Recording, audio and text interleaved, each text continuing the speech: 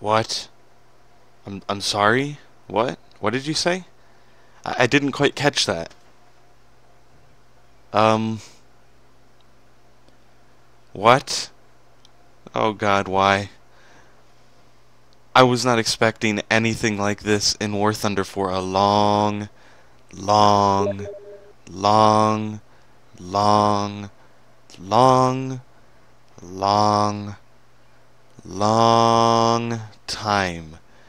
This is the C3PO T34 Sherman Calliope. Yes, I said C3PO on on uh, on purpose. Uh, it's the PC30 T34 Sherman Calliope. Holy balls! They have a rocket vehicle coming to War Thunder. Why? What's it gonna do?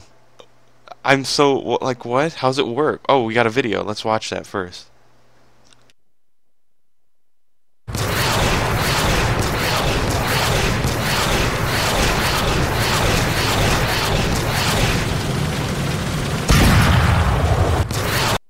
Oh god, it even has a usable cannon on this one.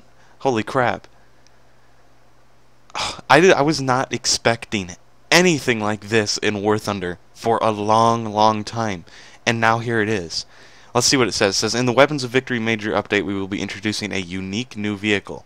Now, Gaijin are really, really bad at when they because they they they're they're like they're, they're just like the mighty jingles they can never make their mind up when they say unique they usually mean premium. But when they say premium, they usually mean exclusive. And then when they say exclusive, they usually mean unique. So I don't know if this means it's a, it's going to be an exclusive slash premium, or if it's just unique because it has rockets.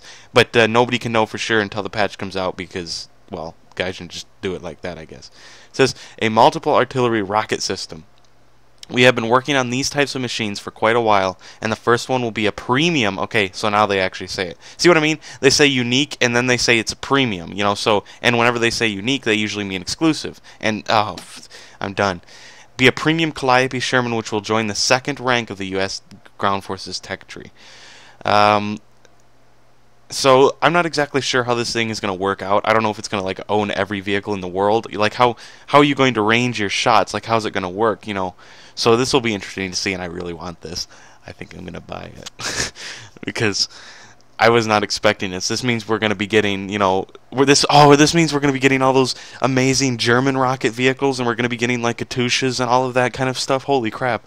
I just now realized. Wow. So rocket vehicles are now in War Thunder, or at least the first one is, and it's it's really really surprising to me that they made the first rocket vehicle in War Thunder a United States one and not like six Russian ones.